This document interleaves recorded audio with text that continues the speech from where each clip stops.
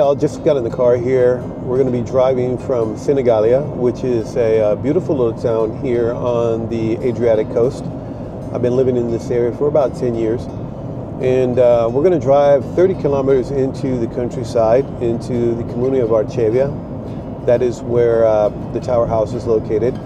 Um, Arcevia is known for the nine castles of Arcevia and one of those is Castello di uh, Castello di Castiglioni, and that is where the tower house is located. So we're going to go there. I'll give you a tour of the uh, of the tower, and uh, we're going to do a little walk around through the Castello. Okay, let's go. Hello, my name is Joseph, and this here is Kobe. Today we're going to talk a little bit more about the tower. If you saw our first video, you know a little bit about the history of the house and how I found it and some of the work that's already been done. But doesn't really go into detail about the tower. So what we're going to do today is talk more about the tower, go through each of the different levels, and um, hope you enjoy it. Let's go. So we're going to start our tour of the tower here on the ground level. We can access the ground level through this door here, which uh, leads out into my little garden and parking area. Okay, I just opened the door and then the wind blew it closed. So, and you're going to have to be, um, where, no, I'm going to say you just have to excuse me because I've got a lot of stuff in here. And uh, walking in here, you can see it's a stone room with a round ceiling. And uh, to be honest with you, I haven't been in here for several months. So I don't know if there's any creepy crawlies running around in here. But um, I guess if I come in here and kind of look back at the door, let's go over here. Let's see, look back at the door here, and you'll see Kobe. Oh, it's not adjusting for the for the light. There we go. So come, Kobe. You can come in if you want, baby. Uh, as I said, I've got a lot of stuff in here. In fact, um, all of the tools that I found inside the the workshop upstairs are are all in here. I didn't want to throw away anything because I just thought it was so cool to have all of these tools. So most of them are stacked down here at the bottom. I can show you. Get a little bit closer here. I don't know anything about carpenter, you know, being a carpenter, but um, there are all these various hand tools and blocks of wood, and I'm not quite sure what all of this is, but uh, as well as the old saw. But this is the inside of the ground level, looking back this way, here. Now, I was speaking to an older gentleman that lives here in the Castello, and he told me that years ago, the carpenter's family kept a pig in here.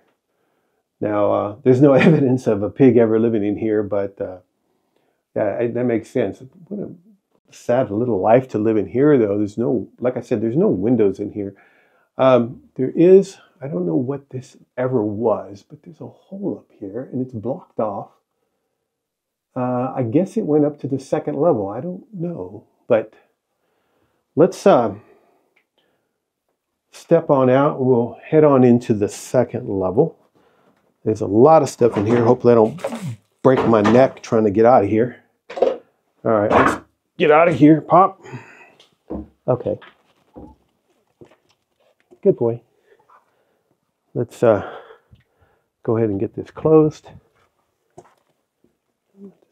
here. All right. Come on, Cobe. Don't go anywhere. Let's go. Uh, so we're going to come in here to the garage. We're going to go up these stairs. Here. Dun, dun. Lead the way, Kobe. Let's go. Come on. And so these stairs here will take you up to the top level. If you go to the left, and if you go to the right, you end up in the carpenter shop. So what we're going to do is come down into the second level. Now, as I said before, this is the level that has the windows. There's a bit of an echo in here, so let's go in here, take a look. And like the ground floor, it has a round ceiling. Everything is in stone. And each little window here has a different view. So let's take a look here. Looking out here, you can look down onto the parking lot. Let's move to another, another window here. This one here looks should look out into the countryside. Yeah. And then this window here shows the approach by road. As you can see, cars coming up. All right. And then, of course, looking back at this Kobe, it gives you a better look of what this room looks like. All right. And uh, the floors, I really like the floors. Everything is, uh, I, this is not, I don't think this is terracotta. I'm not quite sure though. But um, I was told that at some point in the last 100 years that um, there was a big earthquake that destroyed most of this village. And uh, this tower had completely collapsed. And it was rebuilt by either by the state or by the community here. And, uh, and so now we don't have to worry so much about that. It's quite a bit stronger than it was before. So now what we're going to do is go up to the top of the tower. Now I'll tell you, when I first came to visit this house, we entered, uh, well, we, meaning I entered with my agent from the inside of the Castello. I'm kind of walking through the house. I was, uh, I thought, oh, okay, yeah, it's cool, uh, but wasn't exactly what I was looking for. Then we entered the carpenter shop. And I thought, wow, this is really cool space. But when we walked out here and I saw this view, this panoramic view, I'm, I was done. I said, okay, yeah, bet. I just don't know how anybody come out to this spot here and not just be absolutely amazed by, by the view here.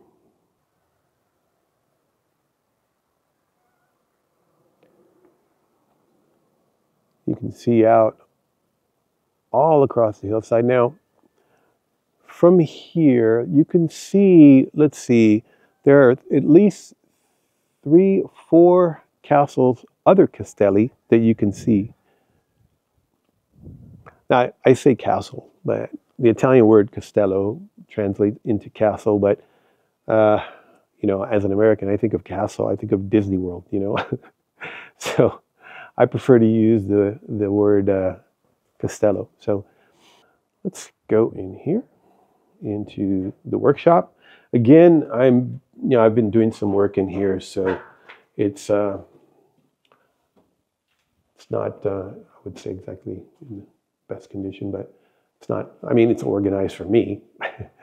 um, these two benches here were the, uh, were used by the carpenters. I was told there were four in here at one point. Now there are only two.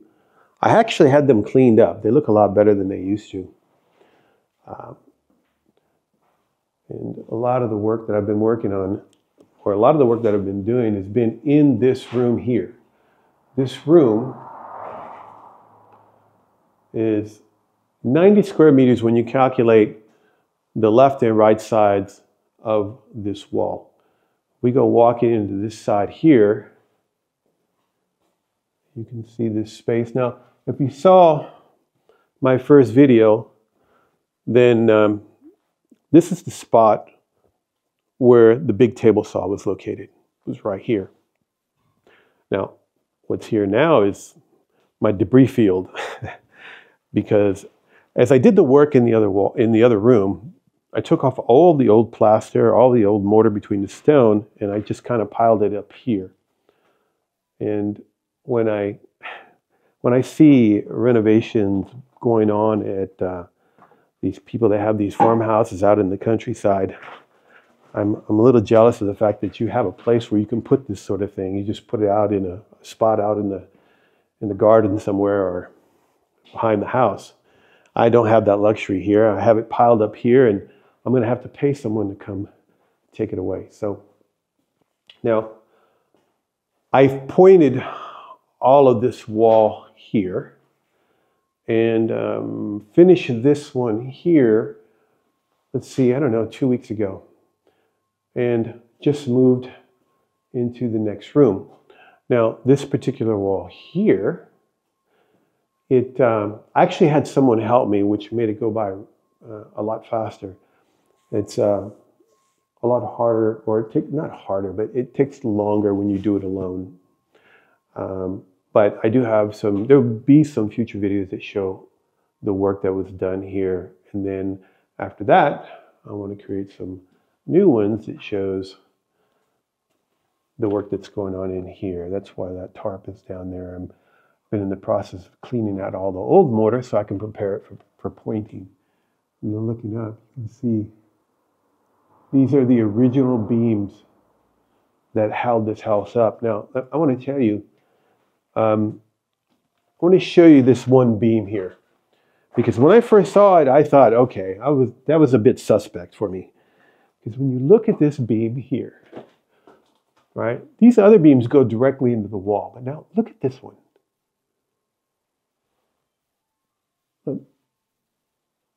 there's a plank underneath. Let's see if I can get a little bit closer. There's a plank underneath that stuck in the wall and then is holding this beam up. And uh, I brought in a structure engineer and I said, look, man, I'm a little concerned about this. And um, he assured me, no, no, no, no. He said, that, that, that'll hold.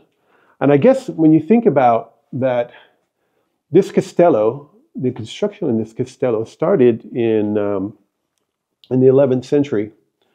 And so this house may have existed since about the, in some form, since about the 12th century, maybe later, I don't know.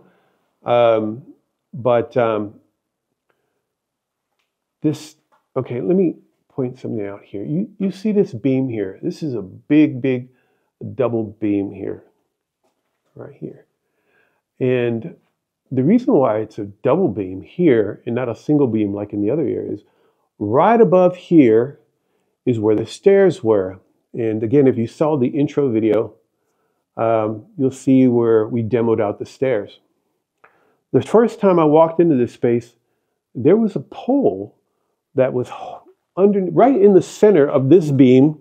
There was a pole that someone had stuck there and it went down to the floor, right? And uh, I think it's because over the many years that have gone by, this beam started to bend from the weight above it because it was not only holding up the stairs, it was also holding up the two floors above it. And um, so what we did was we pulled out the stairs and then added two beams on the upper levels made of iron. And when we did that, that beam flexed upward and the pole just fell to the side. I mean, and th- that made me feel better about the structural integrity of this area too. As I said, uh, I was a little concerned about that uh, particular beam. Now, here there were stairs, but they didn't come.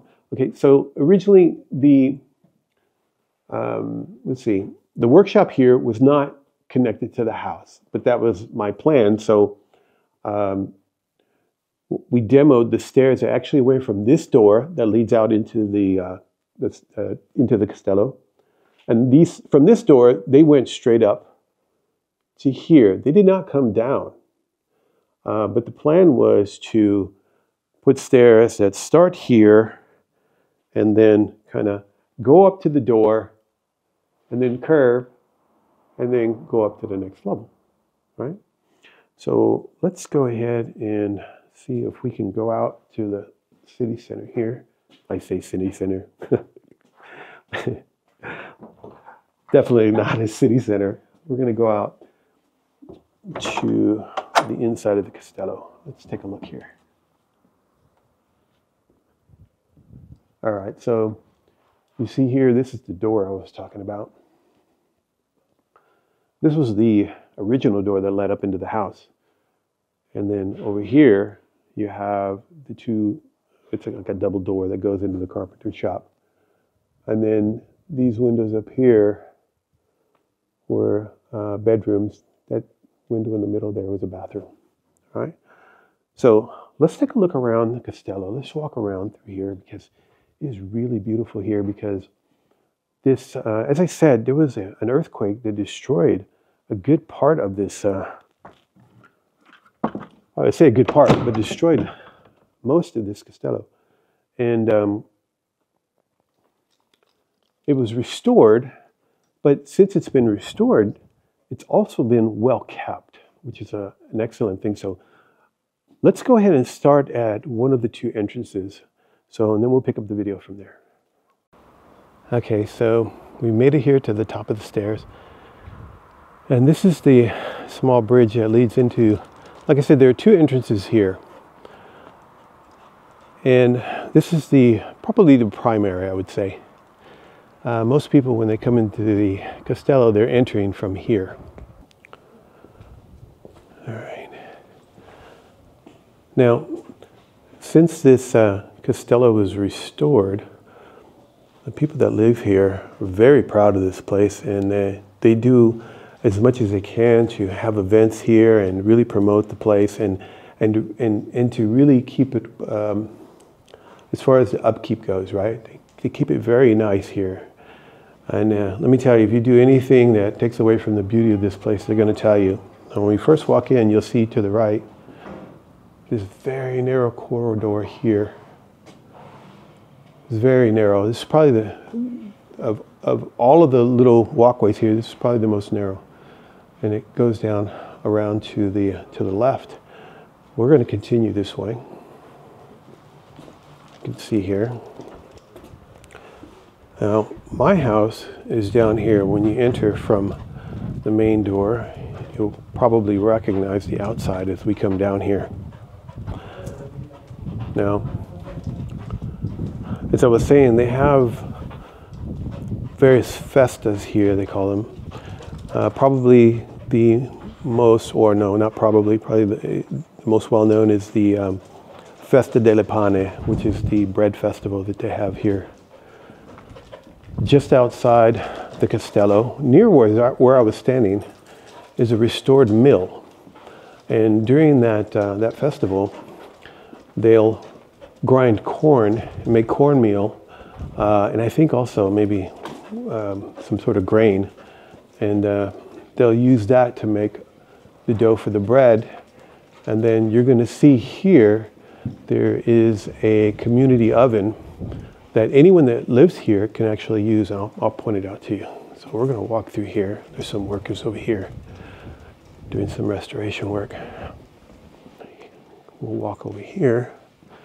Now this truck is actually, there, there are two main piazzas here and this truck is parked in, in one here. And during Christmas, this is where they put the Christmas tree. We're going to continue walking this way.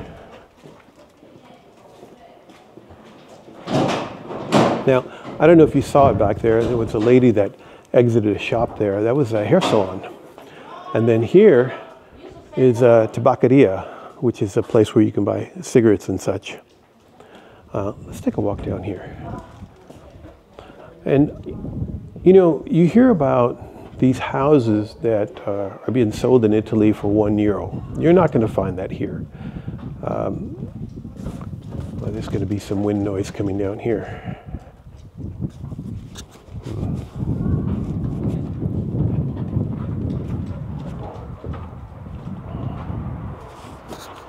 To have a bit of a wind noise here. I don't have my the windbreak on my mic. Let's go down here. And there's some olive trees here, another view looking out onto the countryside. Okay.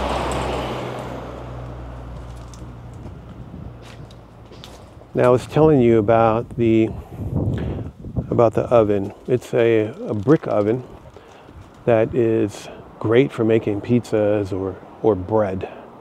And as I said, it's um, just a part of the Castello here. And if you would like to use it, there was a little chalkboard in there where you could just put your name and put the time and the day that you wanted to use it, and you just come down here and use it. And then you just have to make sure that when you're done, you clean it up. Now we're standing right next to it, so let's take a look at it here. Right. Now we came from down down there. We could have walked. If we continued straight from that first piazza, we'd have come through here. So, but I want to give you a closer look at the little oven here. It's just so cool. You have some branches here that you can use to, to start the fire because you don't use you know briquettes like you do in a barbecue in the US. and, and, here's the little chalkboard. And now nobody has, uh, has it uh, reserved, but you can come here and write your name, time and date, and then you can use this oven. And then here you have the tools for sliding the, the bread or the pizza, whatever you're cooking in and out. And uh, this is just so cool, right? I mean, let's take a look in here. See if we can open it. Yeah, it's full of sticks right now. Right. But uh, they do a good job of really keeping this place clean and uh, making it inviting not just for the people that use it, but for tourists that come. So let's take a walk, continue down to the bigger piazza and the church. Ciao.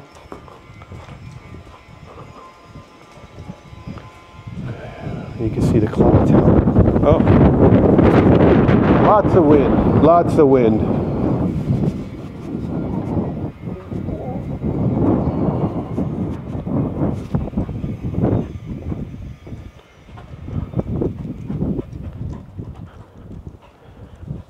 Oh gosh, I should have used that, that wind muff. So, coming out here, we're gonna, I'm gonna show you the view, but first I want you to kind of get a look at this castello here, the houses that are here, this area. And this is the, the church. And this church is, uh, it still functions and uh, people are here every Sunday. Uh, in fact, my son did his uh, first communion here. And looking down from the top of the wall, look down and you can see where cars were parked. I can only imagine, you know, when this place was, um, I mean, just defending this place, having these huge walls, um, must have been very difficult for any invaders to get up here, but I know I looked at the history of this place and it was, I think it was in um, 1300, it was sacked completely. And uh, it became part of the, the, their larger community. So I don't know if the church is open. We can go ahead and take a look. I think it's closed. It's uh, really nice on the inside though. Um, I think the church is going to be closed. Let's see. Oh yeah, it's closed. So let's go ahead and go to the other entrance. As I said, there are only two entrances into the castle. I mean, unless you go through a house like, like mine. And, uh, oh, here's a house for sale. Huh. Okay, so look at the tower here. And this thing rings every half hour. So come over here. This is the other entrance. Ciao. You can see here. Wow, that's actually new. I don't maybe had that repainted or something. That's really nice. Let's see. I don't know what this says. This, I don't uh, know Latin. I have to ask my son. Um, my son studies Latin in high school here, not because he wants to, because it's a requirement. You imagine that in the U.S. So if you look out here, see a little garden just outside. We're going to walk down these stairs and then look back. So you get a view of what this other entrance looks like. Gosh, I really wish I would have put this wind muff on. So it wasn't windy where I was standing down there. Uh, okay, so here's the other entrance here. I think actually I, I like this entrance better, but um, it's not as easy to access from here because when I pointed out from the bridge, you come from this road here and it circles around the Castello and exits out down the bottom here, and it's one way. So you have to enter from the other side. So this is not the primary entrance. If, you, if you're coming here, it's because you parked like in this area here, and then you'll walk and you'll come up there, this walkway up here. Now you see there's stairs here on either side, and then it's flat here in the middle. And I think it's because um, it was easier, or it made it easier to pull a cart up here, either with a horse or, or even a hand cart. If you wanted to push it up here, then uh, you could easily do it without having to worry about the stairs. So we're to walk back up here. We're to make our way back to the tower. Uh, let's take a look at this view. I don't think I showed you the view from up here. It's really, really nice. Very nice view. Very high up. Let's take a look here.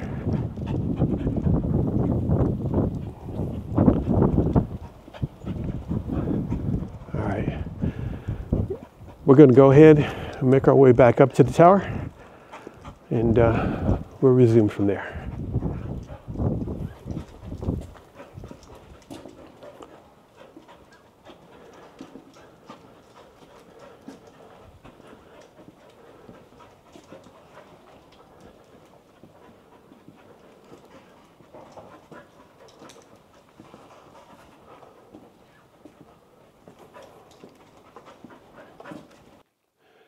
I realized as I got here to the end of my tour that I really should have started with a disclaimer to explain that I'm not a professional YouTuber. I'm not a professional video, video editor. Uh, I will stumble on my words. I'm not going to get every shot in perfectly. Uh, but I just wanted to share with you something that I thought was truly unique. And um, I really hope to turn it into something um, something special um, and not taken away from the historic character of the house. And um, I hope you'll follow along with me. Um, even subscribe to my channel, that would help me a lot. And um, stay with me. And, and um, like I said, I, I want to create something special. And um, I'm probably going to need help doing so, not just local help, but also from my viewers. So um, stay with me. Ciao.